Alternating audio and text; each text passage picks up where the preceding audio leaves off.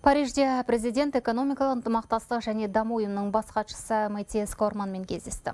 Қасым Жомарт Тоқаев Қазақстан мен ұйым арасындағы табысты ынтымақтастық деңгейін атап өтті. Осыдан соң қазақ басшысын француз тарапы салтанатты түрде елге шығарып салды. Қорған Қонысбайл сөз алады. Экономикалық ынтымақтастық және даму ұйымының штаб пәтері Парижде орналасқан. Біздің елдің өкілдері осы кезге дейін ұйымның 42 құқықтық құжатына қол қойған, құрылымның 37 органының жұмысына қатысамыз. Әрі Қазақстан ұйымның Еуразия елдерінің бәсекеге қабілеттілігін арттыру, жемқорлықпен күрес және жасыл экономиканы дамыту жөніндегі өңірлік бастамаларына белсенді түрде қолдау көрсетіп келеді.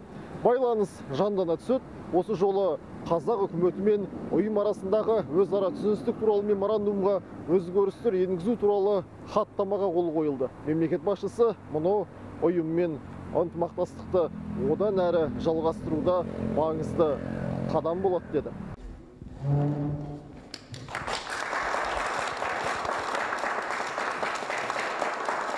This morning while I'm visiting France, uh...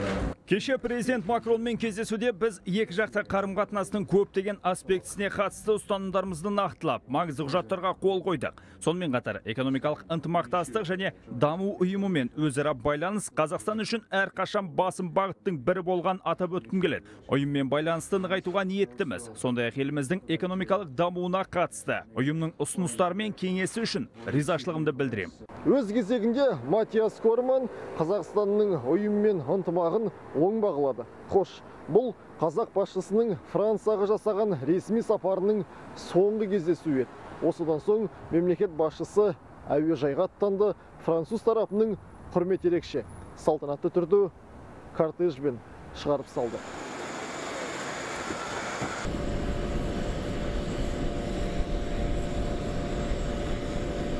It's a nice time. Thank you so much. See you in Astana. Yes, for sure. Ресми сапардың қорытындысы мынадай. Екі ел арасында жиыны 35 құжатқа қол қойылды. Ең ірісі біздің энергетика министрлігі мен Францияның Еуропа және сыртқы істер министрлігі арасында келісім. Екі тарап бірлесіп, Жамбыл облысында қуаты 1 гигаватт болатын жел электр станциясын салуға уағдаласты. Жоба құны 2 миллиард долларға жуықтайды. Қауіпсіздік ісінде де екі ел бір-біріне көмектесуге дайын. Тоқаев пен Макрон жаһандық және өңірлік деңгейде бейбітшілікті тұрақтылықты нығайтуда өзара жәрдем беруге әзір екендерін жеткізді. Енді бізге француз президенті келмек. Қазақ басшысы әріптесі макронды қазақстанға шақырды. Осыдан ақ екі басшының бір біріне деген ықыласын бажайлауға болады.